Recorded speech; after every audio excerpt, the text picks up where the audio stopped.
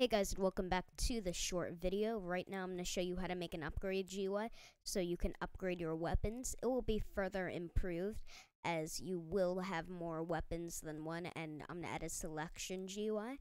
But right now all you want to do is um, is uh, download the thing in the description, import it into Roblox right here, and it's going to be called the upgrade GUI. And uh, you're gonna do what it says. Replace with this. Uh, replace this with the old sword. So you're go to do that. You're gonna put it in the starter pack, and ungroup it, and uh, delete the old sword.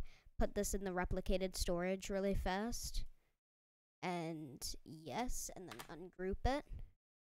But since it, never mind. Uh, go here and put this in the starter GUI and ungroup it. And really fast, I'm going to show you how to make the other GUI faster. So go here and do a border mode. Actually, what you're going to do here is you're going to download the Roundify plugin. If I can find it right here. Roundify it. And there you go. That's going to make it a lot nicer. And then here, you're going, sorry, here, we're going to add a border a darker green right there.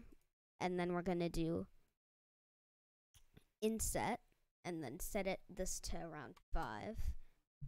And no, sorry. I did this wrong. Wait, did I do this wrong? Wait. Set this to 0. Let's try this again. Let's do an inset and then 5 and a darker green and okay it shows up on this one. So maybe I have to do a middle. Okay sorry outline. There we go and set that to 14 and set that to 0 oh never mind. Go to inset. And hmm. Wait. Let's set this to 1 again and here inset. We're gonna put this down to five. There we go. That is it right there. And then on this one sorry this one where it says start you're gonna put it on this one also. No sorry add another text label here and put uh, make it a lot smaller and make the background transparency to one. I'm gonna do that really quick and make it uh, have the text scaled and make it a lot smaller.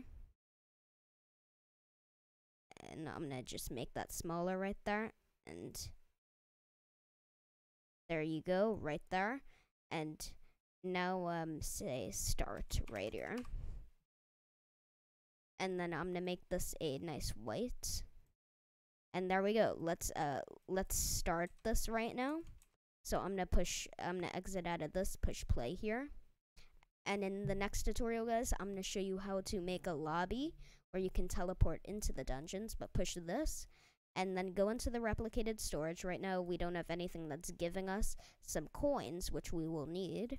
So go into coins, and, oh, never mind, it's at 10.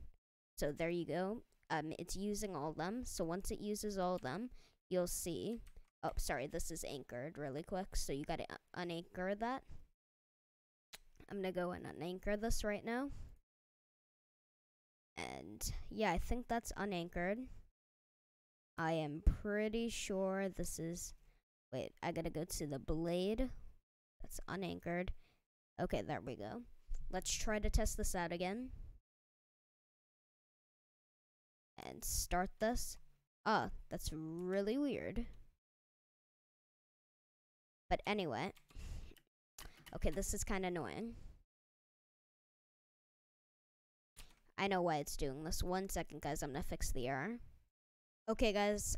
Okay, guys. I am back, and I fixed the error. I'll put the new part inside the, um, the pack. But what I'm going to do is I'm going to test it out really quick. You can see once we load in that we got this new sweet GUI here that we're going to push. Got this upgrade GUI here, which I will push two times.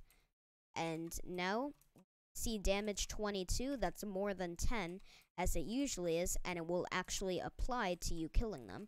You can change the values however you want, but that's going to be uh, today's tutorial. Like and subscribe if you like the video.